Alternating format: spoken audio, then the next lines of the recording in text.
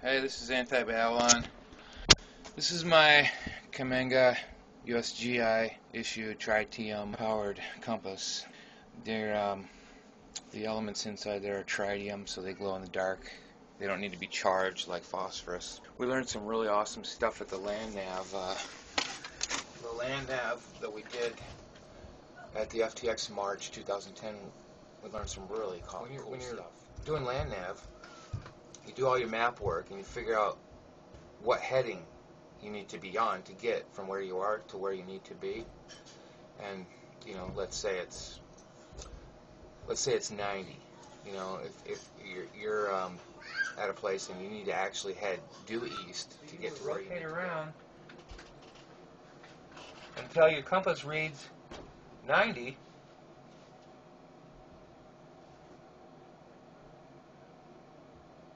And then you would look and you would sight and you would see what landmarks are lined up on your sight line there. And okay, that really big tree down there, that's exactly 90 degrees from me. And you would start walking towards that really big tree. Well, that's the way you do it in the daytime, and it works great. And then when you get to that big tree, you do it again. You line up to 90, and you look in the sight picture there, and you see what, oh, there's another, oh, there's a, oh, that's a birch bark, that big birch bark tree over there. That's at, that's at 90 degrees, and you walk to the big birch bark tree. And that's how you get, you know, you go from point to point. But at nighttime, you can't do that. You can't line up and shoot an azimuth. I never knew this about this, object. this really awesome compass that's worth every penny you spend on it. Um,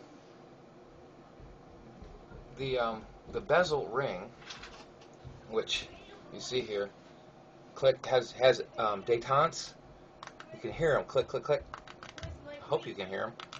But it rotates around. Do you see that little? There's a little line in there that's moving around as I move this. That's the that's the bezel ring tritium insert indicator line. I don't know what it's actually called, but if you if you're at nighttime doing land nav, you line that up with straight north, uh, straight up and down on your compass.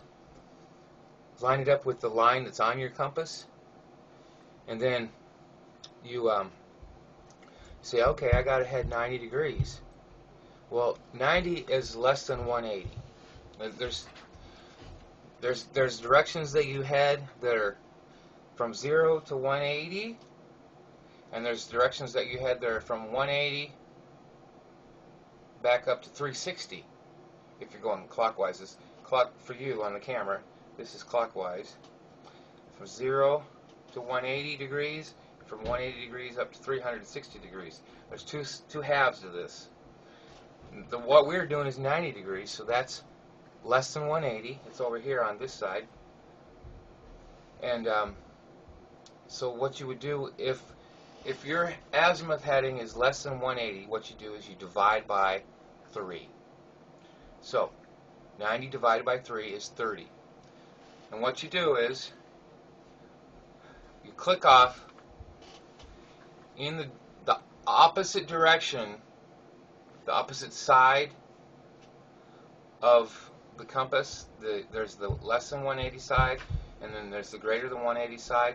If you're going to be heading less than 180, then you need to click this thing towards the greater than 180 side.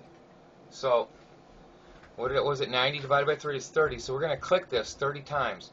1, 2, 3, 4, 5, 6, 7, 8, 9, 10, 11, 12, 13, 14, 15, 16, 17, 18, 19, 20, 21, 22, 23, 24, 30.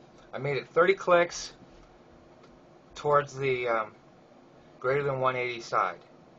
Or, or you could say I, I did it 30 clicks counterclockwise. Now, all I got to do is line up north. If I line up north with the, that mark on the bezel ring, I don't know if you can even see it with this, but I've got north lined up with the bezel ring there. You can see it right there. Let's see if I can get some kind of pointer in here. You can see it. North is lined up with that indicator on the bezel ring. And I don't know if you can see it, but the line in the compass there is pointing to 90. Just like what we needed. How cool is that? So now if you hold your compass, see this line here now is now pointed at 90, right? So now if you hold your compass like this, I don't know if you can see this. You hold it like this, straight out in front of you, your compass and your body are going to be pointed towards 90 degrees. Now the same, it's kind of the same thing for headings that are greater than 180. The math is just a little different, and here's how it goes. If you're going to be heading to an azimuth greater than 180, let's say we're going to be heading, we did our map work and we figured out that to get from where we are to get to where we need to go, we actually need to head straight west, 270. Okay. Um, if it's, this is 0 to 180, if it's from 180 to 360, if it's on this side of the compass, we don't we don't just divide by 3. What we do is we subtract our heading, 270, from 360. So 360 minus 270 is 90. Now we divide by 3. And that gives us 30. And now with the bezel ring lined up at 0, you always start it at 0 before you start doing your clicks. It's lined up perfectly straight up and down with 0 with the, uh, with the compass line. Now you click it 30 clicks to the other side of the compass where you're going to be heading. So since we're going to be heading on the greater than 180 side, we're going to click it clockwise over to the less than 180 side. So we're going to click it 30 times clock. 30. All right, there's 30 clicks. Now when I line my north up, the north on my dial, up with the bezel ring that I just clicked over 30 times, as you can see, my north is lined up with the bezel ring. And as you might be able to see, if you look, if I don't know how well focused this is, maybe it's not light enough, but the line in there is actually pointed right at 270. For, for and if you're holding land navigation, if you're holding it in front of your body with your elbows together,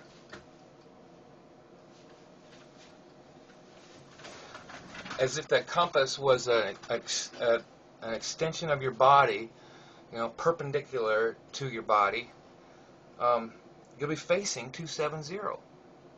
And you can, if, if you walk and you just keep the north lined up with that little glowing indicator on your bezel ring, you'll be headed at 270.